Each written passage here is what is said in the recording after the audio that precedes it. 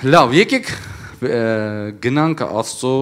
խոսքի մեջ ցերներ, թող Աստված խոսի մեր սրտերի հետ։ Ուզում եմ սկսեմ առաջի թակավորած 9-րդ գլխից, այս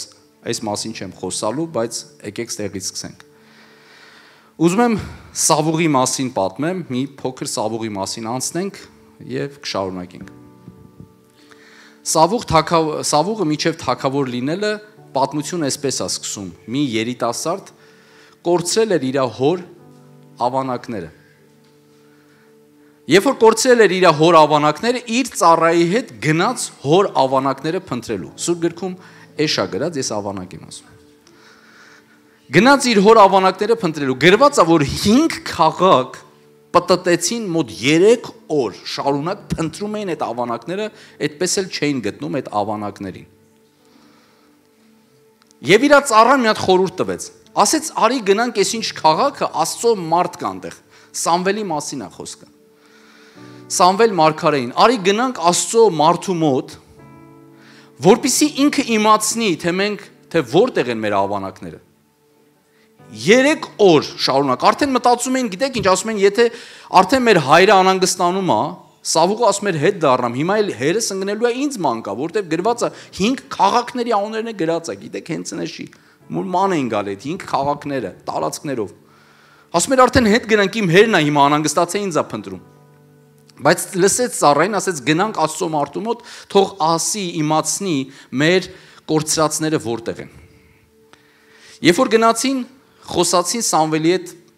սա գրված է թակավորած 9-րդ գլխի մեջ ամբողջ մի գլուխ խոսում է այս ընթացքի մասին, ինչպես գնացին։ Երբ որ Սամվելին տեսան եւ խոսացին, Սամվելն ասեց՝ «Էշերը այդ ավանակները գտնված են։ Ու չասեց տեղը։ Հետարքիր է ինքը ասեց արդեն գտնված են։ Ինչ որ մեկերը գտել են, այսինքն Սամվելը գիտեր տեղը, բայց հետարքիրը չէր շտապում ասելու։ Ահմարդ հազիվ եկեն են քեզ գտել ենք։ Գոնե տեղն ասա գնանք, չէ, ասում կմնանք այսօր ստեղ։ Կհանգստանանք։ Հաց կերծրեց, տեղ տվեց մնալու հաջորդ օրը Սամվելը մի զարմանալի բան արեց առավոտ շուտ։ Որովհետև Աստված 1 օր առաջ խոսացել էր Սամվել Մարգար Սամվել Մարգարիտ եւ ասել էր Սավուղն է գալու եւ դու իրան օծելու ես թակավոր։ Այս ամեն ծրագրավորման ընթացքի հետևում կանգնած էր Աստված եներ։ Եվ առավոտյան վերցրեց յուղը Պատկերացրեք ավանակներ փնտրող մեկը սպասում է հն, դե ասա տենա մեր ավանակները որտեղ վերցնենք շուտ գնանք, շուտ ասա գնանք։ Եվ Աստծո մարգարեն վերցնում է յուղը լցում է եւ ասում է. Տերը քեզ օծում է Իսրայելի վրա որպես իշխան, որպես թակավոր եւ ինքը օծում է Իսրայելի վրա թակավոր։ Իհարկե հետո գալիս է արդեն որոշ ժամանակներ հետո գալիս է թագադրման ընթացք եւ այլ եւ այլ, երբ որ Իսրայելի ժողովուրդը հավաքում են, բայց ամբողջ պատմությունը այսքան եմ ուզում պատմել։ Այս մարդը կորցրել էր իր ավանակները եւ Աստծո մարդը իմանալով տեղել, իմանալով տեղյակ լինելով Չէր ասում, ասում էր վաղը ես քեզ կասեմ, սպասի։ Ինքը գտնված է հանգիստ է։ Ինչ էր իրա փնտրածը, ինչն էր պատճառը, որ այս մարդուն հասցրեց Աստծո դուռը, այսպես ասեմ։ Ինչն էր խնդիրը, որ այս մարդուն հասցրեց եկեղեցի, Աստծո մարդու մոտ։ Սրանք փոխաբերական իմաստով է, հենց այնպես այնպես չի գրված, այլ խորուրդ կա ստեղծեներ։ Մեր կարիքները այստեղ նստածներից կարիքներն են մեզ բերել Աստծո մոտ Մենք շատ բաներ ենք փնտրել։ Սավուղը 5 քաղաք, մենք շատ ժամանակ փորձել ենք մեր փնտրածները, մեր խնդիրները, մեր խնդիրները լուծենք։ Տեսել ենք, որ էլ ճար չկա։ Եվ եկել ենք Աստծո մոտ։ Եվ ինչն է այդ արքիր, որ երբ որ մենք եկել ենք Աստծո մոտ, դարձյալ մեր մտքի մեջ մեր խնդիրը, որ Աստված էս խնդիրը լուծի,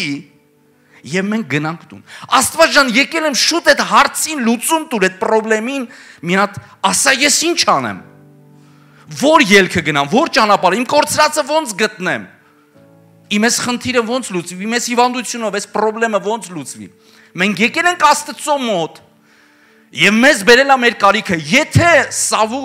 գտներ սավուղը իր ավանակներին, միգուցե այդպես էլ Սամվելի հետ հանդիպում չլիներ։ Եթե Աստված թույլ տար քեզ, որ դու գտնես քո խնդիրը,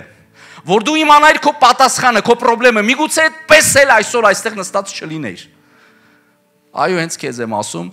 որ մտածում ասում կարող է այսի մասին է։ Բա ուրիշի մասին չենք խոսում, լսածողների մասին խոսում։ Գիտես, կարա Աստված այսօր հենց այսօր քո այդ քո սրտի հետ խոսա։ Սավուղը եկել էր ավանակների համար ու իր մտքով չեր էլ անցնում, որ Աստված ոչ թե ավանակներն է ուզում իրան վերադարձնի, այլ իշխանությունն է իրան ուզում վերադարձնի։ Մի կարևոր մեծ նվեր ա ուզում իրան անի, որ նույնիսկ իր մտքով չեր անցնի։ Դու այստեղ նստած քո մտքով էլ չի անցնում, թե Աստված ինչպիսի ծրագրեր ու պլաններ ունի քո կյանքի հետ կապված, ես ամենայն պատասխանատվությամբ եմ ասում։ Դու նույնիսկ չգիտես, որտեվ երբ որ չգիտես, չիմանալը հենց այնա, որ դու չգիտես էլի։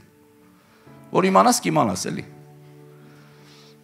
Նույնիսկ դու չգիտես, քո մտքով էլ չի անցնում, թե ինչ եմ ես Աստծո մոտ, ու ինքը չի ասում իմ խնդրի լուծումը որովհետև իր ծրագրերը ավելի խորն են, ավելի ուրիշ են։ Ոչ թե քեզ ուզում ընդամենը քո կորցրածը վերադարձնի, այլ այն ինչի կարիքը դու ավելի շատ ունես, քեզ ավելի է պետք Աստծո ծրագրերը։ Շատ ավելին ասեներ քո եւ իմ կյանքի համար։ Դրա համար է պատճառը, որ երբ որ դու գալիս ես եկեղեցի, եկեք զուգահեռներ տանենք։ Աստված քեզ չի հանդիպում, եկեղեցուն քեզ չի հանդիպում։ Գիտես ինչի համար որովհետև դու կգնաս մյուս կիրակի կգաս, որ նորից իրան հանդիպես։ Եվ դրա համար Աստված այդպես չի անում։ Դու կգնաս տուն, եկեղեցում էլ Տիրոջը չհանդիպած, որպեսի քո տան մեջ փնտրես Աստծուն։ Աստված քո տվածը չի տա քեզ, որպեսի դու շարունակես իրան մոտ մնալ, իրան փնտրել, որովհետև Աստված ուրիշ բան է ուզում տա քեզ։ Աստծո նպատակները ավելին է։ Եվ վերցնենք հենց այստեղ նստածներից երներ։ Հենց այստեղ նստածներից։ Եթե Աստված շտապի է մեզ տա, մենք շուտ կվերցնենք այն ու կգնանք։ Եվ այդպես էլ չենք լսի, թե ինչ ծրագիր ունի Աստված մեր կյանքի համար եւ ինչ նպատակ ունի։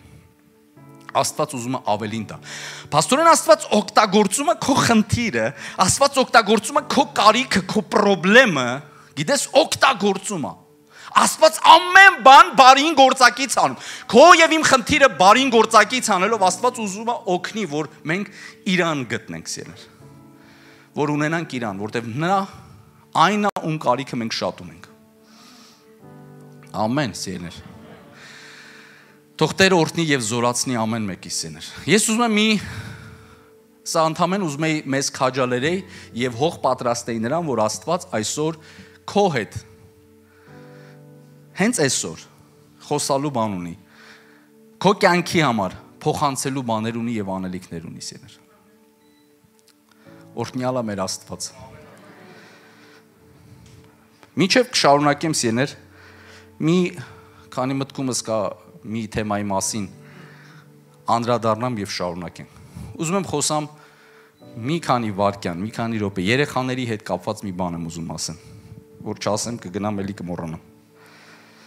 Մենք մեր երեխաներին Աստծո խոսքը սովորացնում է, որ մենք մեր երեխաներին կրթենք, դաստիարակենք ոչ միայն բազմապատման աղյուսակը, ոչ միայն տարերը, ոչ միայն ինչպես օգտվել, պատարակաղը որ ձեռքով վերցնել,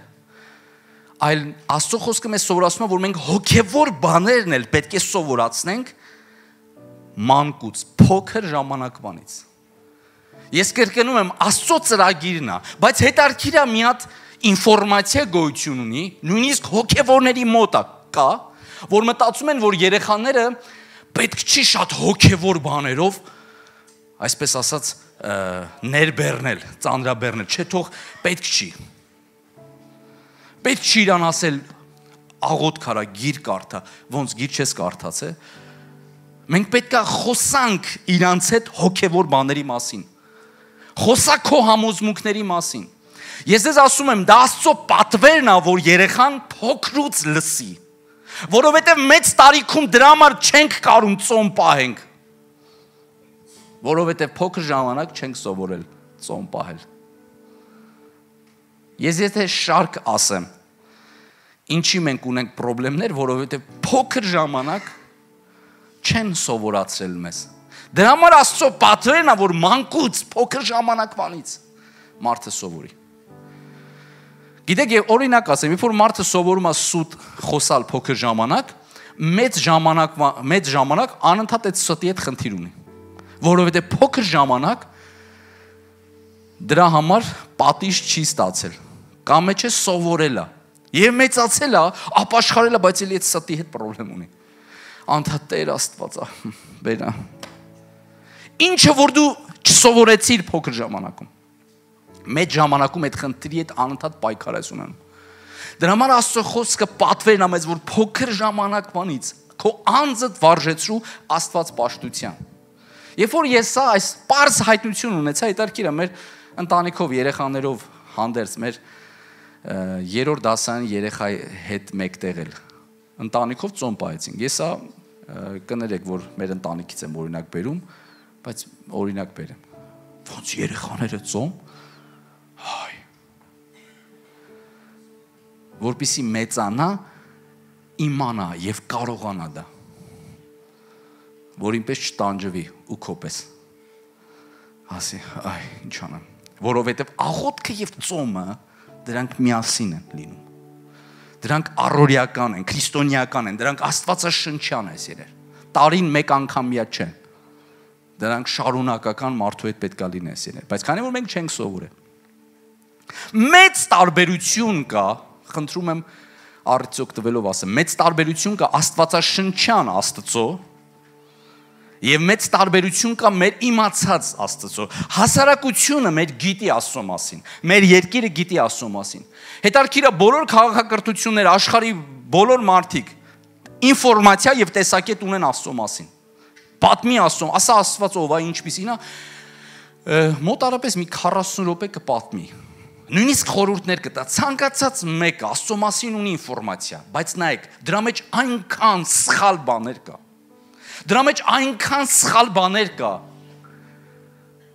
Գիտեք, մեր Աստված ճանաչողությունն էլ, մեր հոգևորներից Աստված ճանաչողությունն էլ այնքան է շաղախված հասարակության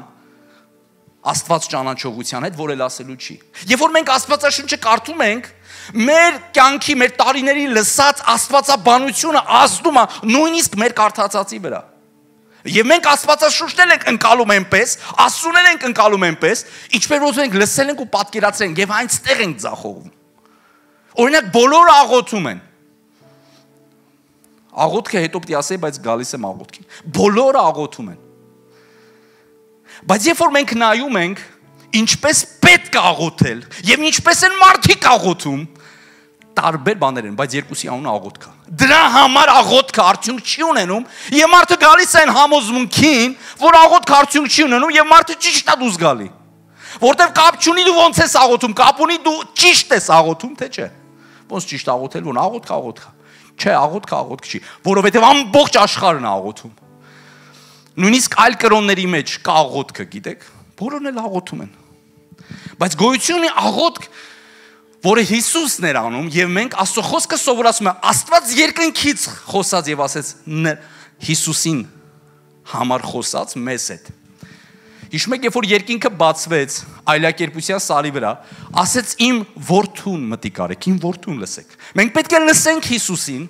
Մենք պետք է սովորենք Հիսուսից, որովհետև ինչի, ոչ թե որ Հիսուսը Աստված էր, այլ Հիսուսը Ադամն էր երկրորդ, որից մենք պետք է սովորենք նույնիսկ ինչպես աղոթել։ Եվ նա ոնց էր աղոթում, նա աղոթում էր գիշերը,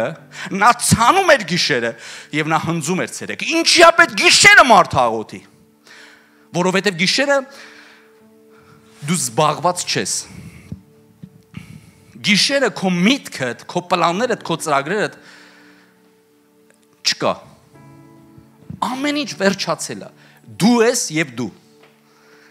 Եվ դրա համար երբ որ գիշեր ես աղոթում եւ Հիսուսի պես ես աղոթում, ինչպես նա փնտրում էր։ Հիսուս ինչ է կարծում, աղոթում էր Տեր Աստված, վաղվա խնդիրներս, Տեր ջան, վաղվա խնդիրներս։ Ինչ էր անում, նա փնտրում էր Աստծուն։ Նա փնտրում էր Աստծուն։ Նա փնտրում էր երկրի վրա Աստծուն։ Երկրի վրա փնտրում էր Աստծո ներկայությունը։ Եվ մենք տեսնում ենք ցերեկը, ցերեկը նրա ցանածի արդյունքը եւ հետևանքը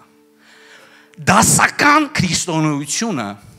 Արավության զարթնել Աստվածաշունչը մի գլուխ կարդալ եւ 10 րոպե աղոթելը մեզ տանում է ուղիղ կրոնավորության։ Բացասական կրոնավորության մասին է խոսում։ Ոչ թե ասում եմ կարող, ասում եմ ուղիղ սիրուն գեղեցիկ ձևով։ Որտեվ բոլոր աշխարհի մարդիկ աղոթում են։ Մենք ոչ թե պիտի աղոթենք եւ ֆիքսենք Աստծո այդ մեր ծրագրերն ու պլանները, ոնց որ Տեր ջան, ռեգուլով կա դու էլի ոնց որ գիտեք մարդ կա, ամեն մեկը ունի Աստծո հետ կարծես իր հարցերը սեն շուտ ֆիքսում է, էլի Տեր Աստված ջան։ Ու ամբողջ մարդը հիշում ասում է դե առավոտյան փառքասու ես հելա իմ աղոթքը սարեց։ Մա մենք պիտի աղոթենք Հիսուսի պես։ Նա գիշերը աղոթում էր։ Ես ցերեկ աղոթի Ես եմ ասում մի աղոթի, դու բայց մե հարցը սա է։ Ինչի հենց գիշերը, որտեղ նա փնտրում էր Աստծուն եւ իրան ոչ մի բան չէր խանգարում։ Դրա համար Աստված մեզ հանդիպում երազի մեջ ինձ ու քեզ երազի մեջ է խոսում։ Ոչ թե երազի մեջ խոսալու Աստված տեն շատ է սիրում, այլ որտեղ երազի մեջ դու իրան չես խանգարում։ Քո պլաններն ու ծրագրերը քո միտքը այնքան քնած է, որ Աստված կարող է գոնե երազի մեջ, ստիպված գոնե երազի մեջ խոսա մեր հետ։ Եվ սրա մեջ կա մարդ, որ իր հոգևորությունն է տենում, ես էլ չէ։ Ես էլ տեսնում եմ այդ մարդու զբաղվածությունը եւ ինձ զբաղվածությունը։ Մի քիչ հումորով եմ ասում։ Ստիփված Աստված գալիս գիշեր, երբ որ մարդու միտքը քնած է, գոնե խոսում է ժամանակ, գոնե պատկեր ցույց տալիս այդ ժամանակ, որ մարդը հասկանա, որ մարդը զգա Աստծուն, իմանա իր անելիքը։ Մեր միտքը խանգարում է։ Աստծուն լսել սեներ։ Համաձայնեք թե չէ։ Կրկնում եմ, կա աղոթք, որ գիտեն բոլորը, եւ կա աղոթք Աստվածաշնչյան աղոթք։ Ես ուզում եմ այս համարը միասին նայենք եւ շարունակենք սիրել։ Երեմիա 29-ի 12-13 խոսքերը։ Ասում է դու կգաք իմ արչև, կաղոթեք եւ ես կլսեմ։ Գոյություն ունի աղոթք, որ մարդը երբ որ աղոթում Աստված լսում է։ Այսինքն երբ որ մարդը աղոթում է, ցերեկ լինի, առավոտ լինի, իրիկուն լինի, Երբել աղոթի մարդ Աստված լսում է։ Աստծո խոսքի մեջ մեկ ուրիշ տեղ էլ կա ավետարանների մեջ, երբ որ ասում է, երբ որ դու գալիս եք Աստծո առաջ ինքը արդեն գիտի ձեր կալիքները։ Նույնիսկ ձեր աղոթքները դեռ չասած ինքը տեղյակ է։ Այո, Աստված ինքը պատասխանատվություն վերցնելով ասում է, երբ որ դու գաք աղոթեք ես ձեզ կլսեմ, բայց շարունակությունը 13-րդ խոսքի մեջ ասում է, բայց դուք կփնտրեք ինձ եւ ինձ կգտնեք մեծ տարբերություն կա նման հավատացյալի, որը հայտնի է դարձնում Աստծուն իր ձայնը, եւ մեծ տարբերություն կա այն մարդու, որ գտնում Աստծուն, որտեվ Աստված ասում է դուք ինձ կգտնեք եւ ասում է ելքը, երբ որ ձեր ամբողջ սրտով ինձ փնտրեք։ Չկա ոչ մի ուժեղ հոգևորել չի կարող Աստծուն գտնել, եթե չփնտրի։ Տարիների հոգևորներ կան, որ այնքան են սարել, իրենց սխալ հոգևոր քայլերի պատճառով, որ եկել են մի համոզմունքի, որ Աստված չի գտնվում, որովհետև Աստված գտնվում է, երբ որ դու քո ամբողջ սրտով Սա նշանակում է ամեն ինչից շատ բացատրեմ ինչա նշանակում սա։ Երբ որ քո բոլոր կարիքներից զուտ անկախ, քո բոլոր հոգսերից անկախ դու գնում ես աղոթքի Եվ իր Աստված նախանձոտ Աստված է, հին ուխտում էլ, նոր ուխտում էլ։ Եվ Աստված իր դուրը չի գալի, որ դու եկել ես աղոթքի մենակ քո հոգսով։ Ինքը կանգնած է։ Բայց քեզ մենակ քո հոգսն է բերել։ Աստված ուզում է, որ ես իրան գտնեմ։ Եվ իրան գտնելը դա լինում է միայն ամբողջ սրտով փնտրելու հետևանք։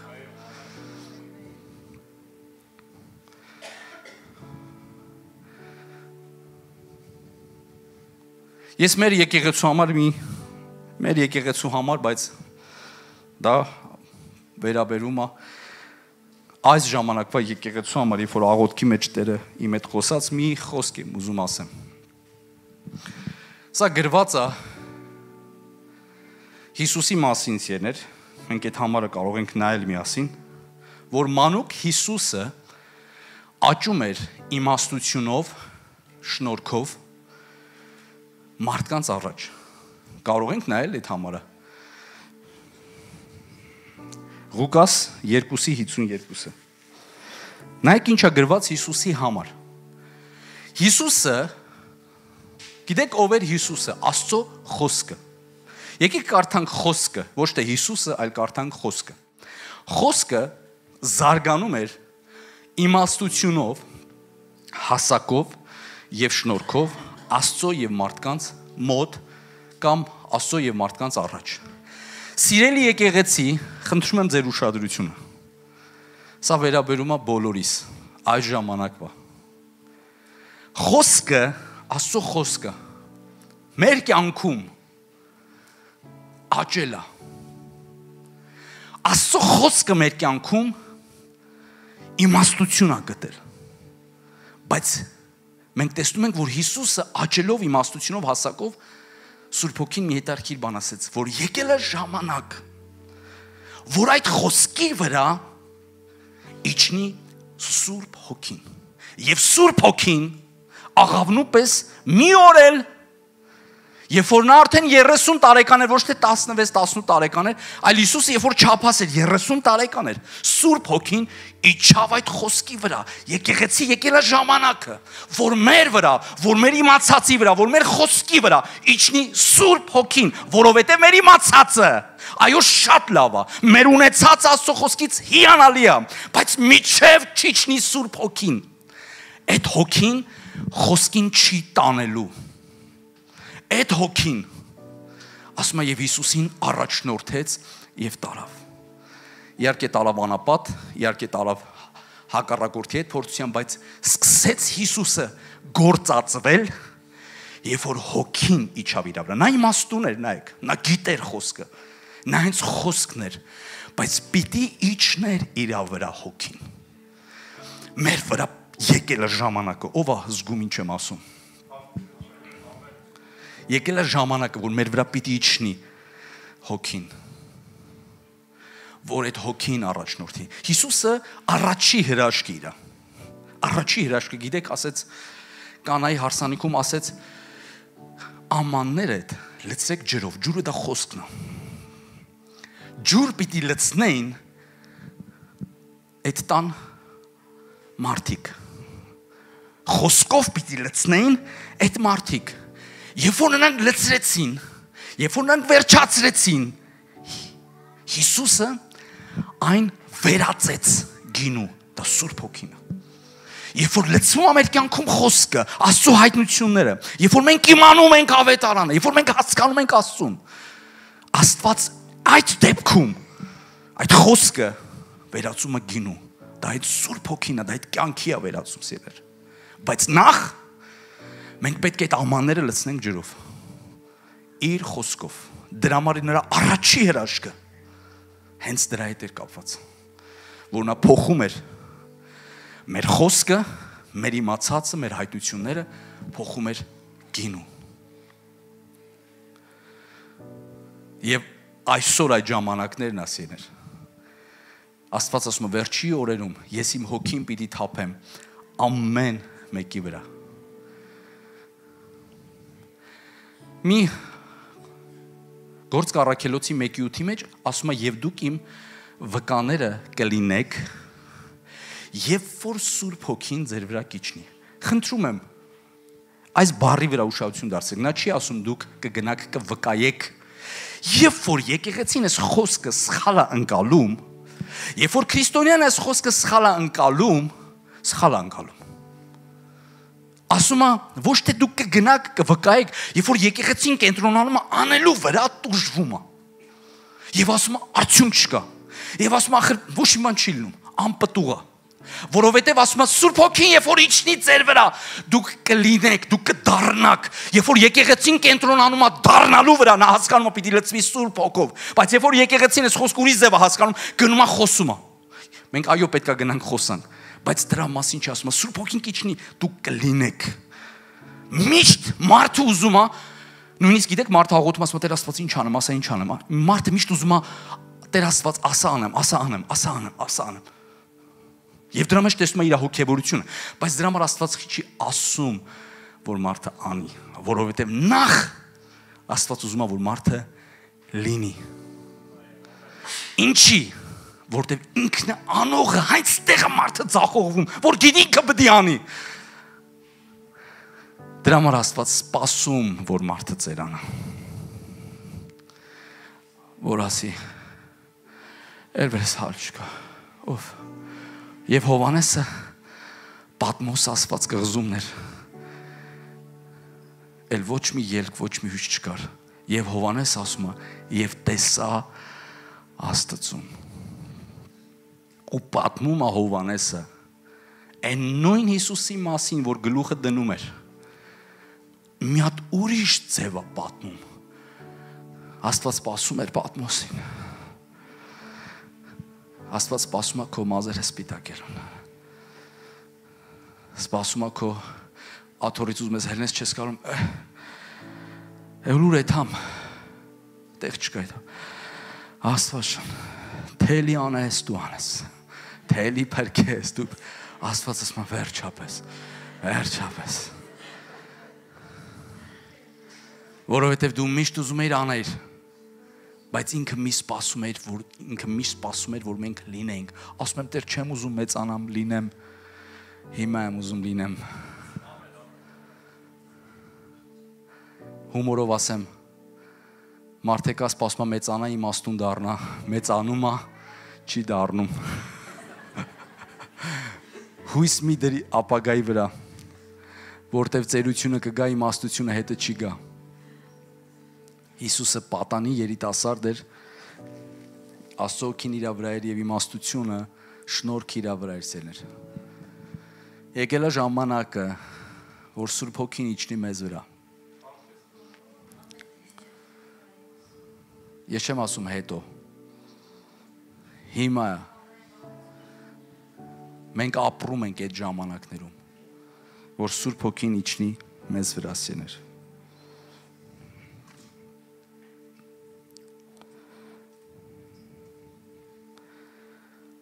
Մեր անտեղյակություն, ես ես վերջից սրա մասին շատ եմ ասում, էլի ասեմ, մեր անտեղյակությունից միշտ օգտվում է հակառակորդը սեներ միշտ է օգտվել մեր անտեղյակությունից։ Գիտեք, մաթեմատիկա սովորող ուսանողը ինքը գիտի թե ինքը ինչեր չգիտի եւ ինքը սովորում է։ Ասում է ես այս այս առարկաները չգիտեմ եւ ինքը դեռ սովորում է։ Գիտական ոլորտում սովորող մեկը կամ զարգացող մեկը չգիտ գիտի, որ կա բաներ, որ ինքը չգիտի եւ ասում է, այ ես պիտի սովորեմ այս սրանք է որ կարողանամ անեմ, որ դրանից հետո այս մի բաները սովորեմ։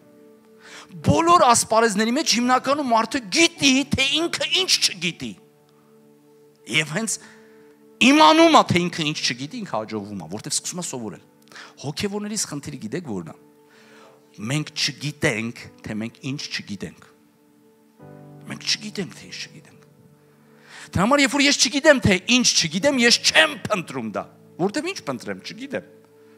որ իմանամ ինչ չգիտեմ, կփնտրեմ ինչ իմացածը։ Եվ հենց այստեղ է որ հակառակորդը իմ ժողովուրդը գիտություն չունենալու պատճառով Աստվածաշունչը չիմանալու պատճառով ես կրկնում եմ այն երբ որ Հիսուսը երկվիրա քարոզում էր ընդունված չէր ինչի համար որովհետև այն մարդիկ որ սпасում էին նույնիսկ խոսում էին Հիսուսի մասին Գիտեք, Հիսուս եկավ երկիր խոսում էր իր մասին եւ մարդիկ չէին ընդունում։ Ինչի համար? Որովհետեւ այն Հիսուսի մասին մարդիկ որ լսել էին, ուրիշ էր։ Այն ինֆորմացիան, որ Հիսուսի մասին եկե հասել էր իրանց, ու հիմա էլ եկել է Հիսուսը, տեսնում են չի համապատասխանում։ Եվ Հիսուսին չէին ընդունում, ասում են, ախ ինչ է խոսում։ Այս մարդը ինչեր է խոսում, չէին ընդունում, ընդունված չէր, որովհետև սխալ ինֆորմացիա կար։ Գիտեք, Աստված ճանաչողության մեջ, նույնիսկ մեր հոգևոր գործերի մեջ այնքան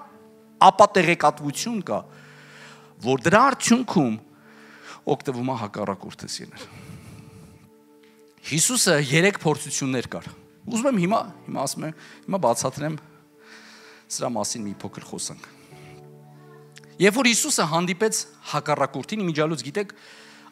անապատում Սուրբ Հոգին Հիսուսին տարավ Եվ Սուրբ Հոգին էլ այնտեղ էր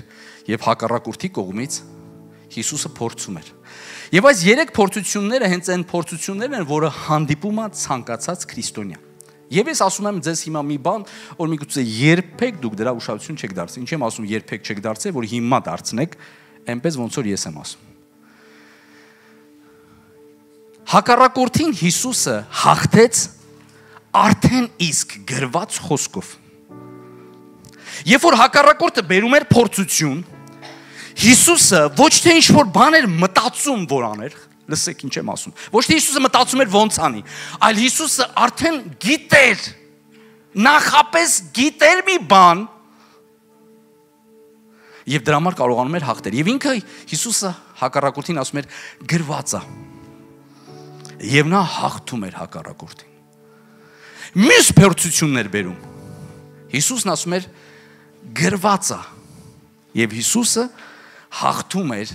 գիտություն ունենալու պատճառով։ Փաստորեն, երբ որ ես պարտվում եմ հակառակորդին եւ նրա բերած փորձություններին, ես պարտվում եմ գիտություն չունենալու պատճառով։ Աստծո խոսք ասում է, ոչ մի նոր բան այս երկրի վրա չի լինում։ Ինչ որ եղել է, այն արդեն լինում է, ինչ որ եղել է, ընդամենը կրկնվում է նույն բաները կրկնվում են նույն բաները կրկնվում են մարդիկ փոխվում են անունները փոխվում են այո բայց նույն բաները գալիս են նույն բաները գնում են երբ որ հետարքիրա Հեզաբելը փնտրում էր որ Եղիային սپانի Հեզաբելին լուրջ փնտրում էր ասում էր ես Եղիային սپانելու եմ ասում էր կտեսնեք որ ես Եղիային այն մյուս մարգարեների օրն եմ գցելու այսինքն Բաղամի մարգարեների օրը Գիտեք, Հեզաբելը թակավորի աղջիկ էր։ Նա թակավորի աղջիկ էր եւ ամուսնացել էր Իսրայելի թակավորի հետ։ Թագուհի էր։ Եվ Հիզաբելը այդ Հեզաբելը այդպես էլ չսպանեց Եղիայի շարունակության մեջ մենք տեսնում ենք եւ գրված է որ եկավ Հովանեսը Եղիայի հոգով ոչ թե նույն հոգին էր Սա բացառի գերեվույթ է Եղիայի համար ոչ թե նույն հոգին էր եկել այլ այդ նույն կերպարն էր այդ նույն գործն էր անում եկել էր պատրաստելու Հովանես Մկրտիչը Հիսուս Քրիստոսի գալուստը։ Գիտեք, մենք էլ ենք այդ նույն կերպարը, որ պատրաստում ենք Հիսուս Քրիստոսի գալուստին։ Դրա համար հայտնության գրքի վերջում ասում է եւ հոգին եւ հարսը ասում են եկ Տեր Հիսուս։ Մենք նույն Եղիայի շարունակություններն ենք սիրել, որ մենք պատրաստում ենք Աստծո ճանապարհը։ Եվ տեսեք ինչ եղավ։ Թագավորի առաջ Երբ որ Հովանես Մկրտիչը բանտում էր թակավորի աղջիկը, Թագուհին, ասեց թակավորին գլխատեք Հովանես Մկրտիչին։ Տեսեք, Թագուհու աղջիկ, Թագուհու աղջիկ։ Եղիա, Եղիայի հոգով Հովանես Մկրտիչը։ Այնտեղ այնտեղից ընկած է հայտևից։ Տեսեք որտեղից է ընկած։ Դեպքերը փոխվել է բայց մենք տեսնում ենք նոր քտակարում Հովանես Մկրտչի գլուխը կտրել տվեց այդ նույն Հեզաբելի հոգին։ Նույն Հեզաբելի հոգին։ Այդ նույն հակառակորդի կերպարը, ինստրումենտը, միջոցները գալիս է այսօր մեր կյանք։ Որպեսի կործանի մեզ, որպեսի մեզ գլխատի, որ մեր ձենը չլսվի, որ մենք չգործենք, որ մենք չխոսենք, որ մենք լուր մնանք Դեպքերը փոխվում է։ Ամեն ինչ կրկնվում է այս կյանքում, սիրներ։ Փաստորեն, երբ որ քո կյանքում հանդիպում է մի բան, դու պետքա մտածես։ Նայեք ինչ մտածես։ Փաստորեն, այս խնդրեմի առաջ, որ ես կանգնած եմ, գրված է։ Պաստորեն ես խնդրի առաջ, որ ես հիմա կանգնած եմ։ Պաստորեն ես դժվարությունը, որ եկավ հիմա հասավ ինձ, դրա մասին գրված է։ Մի րոպե որտեղ է գրված։ Ես գնում եմ, փնտրում եմ արդեն իսկ մի եղած դեպք։ Եվ տեսնում եմ, Պաստորեն, ես էլ պետքա Դանելի պես վարվեմ։ Պաստորեն, ես էլ պետքա Հովսեփի պես վարվեմ։ Երբ որ Հովսեփը բանտում էր Աստծո ներկայության հետ էր, ես պիտի պահեմ Աստծո ներկայությունը նույնիսկ ինչ իրավիճակի մեջ է լինեմ, Աստված բացելու է դուռը նրա ձեռքով որ փակել այդ դուռը։ Ես պիտի սпасեմ համբերեմ, որովհետև գրված է։ Երբ որ հակառակորդը բերում է մի բան, եւ դու չգիտես այդ մասին, դու շփոթվում ես, որովհետև չգիտես ինչ կա գրված։ Քո իրավիճակները, քո դժվարությունները, քո խնդիրները, ինչ իրավիճակ ուզում ա լինի, այն ինչ որ գրված է, ավելի հստակ է, ավելի ճիշտ է, քան այն որ ինչի է դու հիմա հանդիպում ես։ Դու պիտի ասես, գրված է ես նրա վերքերով շուտ եմ այդ վախտ եմ նոր չէ ես բժշկված եմ մահվան շուքի ձորով անցնեմ գրված է Տերը մահվան շուքի ձորով անցնելուց միակ միտքը որ գալիս է, դա այնա որ Տերը քո հետ չի։ Ամենաշատ միտքը որ գալիս է, այնա որ Տերը քո հետ չի։ Եվ դու ասում ես, ոչ, գրված է հակառակորդ ով իմ անձ գրված է եւ գրված է նաեւ որ հակառակորդը գնաց որովհետեւ Հիսուսը գիտեր եւ չպարտվեց Պաստորին, երբ որ ես չիմանամ, ես պարտվում եմ։ Ամեն թե չամեն։ Որ ասպարեզում չեմ իմանում, ես պարտվում եմ։ Լավ, ես այս վերջի խոսքն ասեմ եւ աղոթում ենք սիրեր։ Հիսուսը Հովանու ավետարանի 3-րդ գլխի մեջ ասեց Նիկոդեմիոսին երկնքի արքայությունը կտեսնեք եւ երկնքի արքայությունը կմտնեք։ Խոսում է Հիսուսը երկնքի թակավորության մասին, երբ որ նա քարոզում էր, խոսում էր, որ երկու իրականություն, գոյություն ունի այս մատերիալ, այս երևացող աշխարհը եւ գոյություն այն չերևացող աշխարհը, որը գոյություն ունի։ Եվ Հիսուսը խոսում էր այդ թակավորության մասին, հերի չի խոսում էր։ Նա հրաշքներով, նշաններով ցույց էր տալի, որ կա իրական այդ թակավորությունը եւ հերի չի այդ թակավորությունը կա, այդ թակավորությունն իսկ զորություն ունի, իշխանություն ունի Եվ ինքը գործեր էր անում այդ իշխանությամբ եւ այդ զորությամբ։ Հիսուսը ցույց էր տալի, որ գոյություն ունի այս երևող երևող աշխարհից բացի գոյություն ունի չերևող աշխարհ, որը իրական է։ Եվ այնքան ռեալ եւ այնքան հստակ էր խոսում։ Եվ դրանք բերում էր երկուսը մեկտեղ։ Երկնքի թակավորությունը։ Այո, ասում են ուտելիք խմելիք չի, բայց ինքը իրական է, ինքը ռեալ է, ինքը կա։ Երբ որ ծովի Հիսուսի աշակերտները ծովով գնում էին, գրված է որ ծովի ալիքները ալեկոծություն եղավ եւ Հիսուսը քնած էր նավի մեջ։ Ալեկոծություն եղավ եւ բոլոր ջրերը լցվում էին նավի մեջ, նույնիսկ նավը խորտակվում էր։ Գիտեք ջուրը, մենք գիտենք այն ֆիզիկականն է, որ մարդը թրջվում է, այն ֆիզիկականն է, որ այդ ջուրը կարա, չգիտեմ, սարեր, ժայռեր փոկի, ծառեր փոկի։ Ջուրը երևացողն է, իրականն է, կշիռ ունի, ծանրություն ունի խորանարդ, չգիտեմ։ Եվ գոյությունի քամին, որը չերևացողն է, ինքը չի երևում։ Բայց ամբողջ ալեկոծության հետևում կանգնած է քամին։ Եթե քամին չլինի, ծովը ոնց սկատենց կմնա, անշարժ, ասում եմ ձեզ, անշարժ։ Այսինքն կմնա։ Բայց քամին կախված որ ուղությունով է գալի եւ որ ուղություն է գնում, այդտեղ էլ տանում է։ Եվ քամին է որոշում ալիքները ծովի մեջ լինեն, թե ծովից դուրս լինեն։ Նավի մեջ լինեն, թե նավի ներքևում լինեն։ Կամինա որոշում։ Սրանով Հիսուսը ցույց էր տալիս, որ քո կյանքում, որ քո նավի մեջ, որ քո կյանքի մեջ հայտնված ալիքները միանշանակ պատճառն են այն չերևացող աշխարհի, որը կամինա Եվ այդ կամինա լցնում, եւ այդ կամինա բերում, այդ չերևացող աշխարհը, որը գոյություն ունի, դա է պատճառը որ ալիքներ կան քո կյանքում։ Դրա համար Հիսուս երբ որ զարթնեց նա քամու հետ խոսաց։ Եվ ասում է սաստեց քամուն։ Դրա համար երբ որ մենք գալիս ենք եկեղեցու Աստված խոսում է, մենք մի հատ ուրիշ խնդիր ունենք, մի հատ ուրիշ կարիք ունենք, Աստված խոսում է մեր հոգու հետ։ Մի հատ ուրիշ բան որովհետև ինքը գիտի այն խնդիրը, որ ես ունեմ, այն խնդրեմը, որ ես ունեմ, այն կարիքը, որ ես ունեմ, որտեղից է առաջացել մի չերևացող բանի պատճառով, մի հակառակորդի ազդեցության պատճառով, չարի ինչ որ դրսևորման պատճառով, ինչ որ խնդրեմի ու մեղքի պատճառով։ Դրա համար ասված նախ այդ խնդիրը նա կամուն հանդարտեցրեց հետո ծովին, որովհետև որ կամին հանդարտվի, ծովը կգա իր տեղում։ Եվ որ քո կյանքին չերևացող բաները լռեն ջրերը կգնան իրանց տեղը։ Երևացող բաները, մատերիալ բաները կգնան իրանց տեղը։ Ամեն թե չամեն։ Երբ որ կան ալիքներ, ոչ թե ալիքների հարցը պիտի լուծենք, այլ պիտի լսենք ասում թե ինչի խնդիր եւ ինչ հարց պիտի լուծենք։ Մի բան էլ ասեմ եւ մի բան էլ ասեմ մենք այնքան շատ ենք շփոթել Աստծո ներկայությունը, մի քիչ պատասխանատու նուրբ զգուշ բան եմ ասում։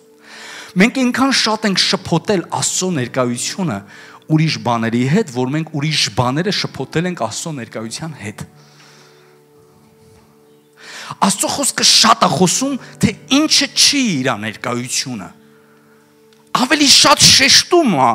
թե ինչը չի իր ներկայությունը։ Որpիսի մենք իմանանք որն է իր ներկայությունը, որովհետև մենք շատ բաներ շփոթել ենք իր ներկայության հետ։ Օրինակ, եմար երբ որ մարդը փշակ խաղվում է, այ ասում է Տերը հանդիպեց։ Եվ հենց այդ նույն մարդը կարար Բիոնսեի երգի տակ Ռեհաննայի գեղեցիկ երգի ելևեջների ներքո մարդիկ ասում են Բիոնսեն ու Ռեհանան, իրար մորքուր երեխեք են, չգիտեմ, երկիշներ են։ Լսի եւ անենց սիրտը թրթրա ուրախանա հանգստանա, բայց դա աստծո ներկայությունը չի։ Եղիային Աստված ցույց տվեց, որ մեծ Եղիան սпасում էր աստծո ներկայության եւ մեծ հողմ էր գալի։ Եղիան ասեց, ահա։ Մեր կյանքում ինչ պատամ ասում ենք, դա Աստված էր։ Հետո մեծ երկրաշարժ եղավ Հետո կրակ եղավ։ Եվ Աստված ասում է, դրա մեջ չէր։ Հանկարծ ձայն լսվեց։ Նայեք, գործողություններ էր, երկրաշարժ, փոթորիկ էր, քամի էր, բոլորը ֆիզիկական բաներ էր։ Բայց այդ ամենից հետո լսվեց մի մեղմ ցայն խոսքը եկավ խոսքը եւ Աստված նայեք եւ Աստված այդ խոսքի մեջ էր այդ խոսքն էր ինքը եւ ինքը իր խոսքի հետ է գալի։ Եվ Աստծո հոգին շրջում էր ջրերի վրայով։ Եվ Աստված ծննդոց մեկ եւ Աստված խոսեց։ Դրանք երկուսը իրար հետ գալիս են։ Երբ որ Աստված խոսում է, դրա համար մենք պիտի փնտրենք որ նա խոսի որ նրա հոգին գա որ նրա ներկայությունը գա սեներ մենք պիտի փնտրենք նրան այնքան, որ նա խոսի։ Խաղաղությունը հեշտ է գալի։ Բայց Աստծո խաղաղությունը ամեն մտքից վրա, բայց դրա մասին չի խոսքը։ Եվ մարդը, այս բառը պիտի ասեմ, յոլայա գնում երբեմն այդ փոքր փոքր այ այ շլավ էր, վայ վայ պաշտում իշտ։ Վայ վերջաղոտ քիչքան լավ էր։ Վայ դու նաղոթես ինչքան լավ էր։ Մենք պիտի փնտրենք իրան, որ նա խոսի որտեւի տարբերություն մնացած բոլոր երևույթների շատ կարևոր է որ նա խոսի Հիսուսն է ճանապարհը ճշմարտությունը եւ կյանքը Հիսուսն է ճանապարհը անհաջողությունից դեպի հաջողություն տխրությունից դեպի ուրախություն ընկճվածությունից դեպի հույս Հիսուսն է ճանապարհը եւ այդ ճանապարհը մեր կյանքի մեջ է ամեն օր մեր հետ է նայա ճանապարհը նայա ճանապարհը միջև իսկ երկնքի եկեք կանգնենք աղոթենք մի քանի րոպեներ սիրներ ես ուզում եմ աղոթենք բայց մեր ամբողջ սրտով աղոթենք մեր ամբողջ հոգով աղոթենք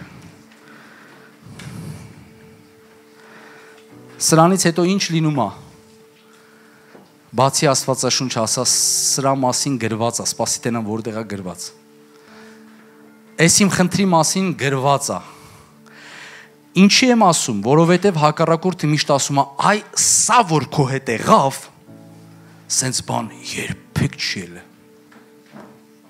Բացար, այսի բա դու բացառիկ դեպք ես։ Քո խնդրեմը համեմատելու չի եւ մարդը անտեղյակության հետևանքով չիմանալու պատճառով որ գրված է ամեն բան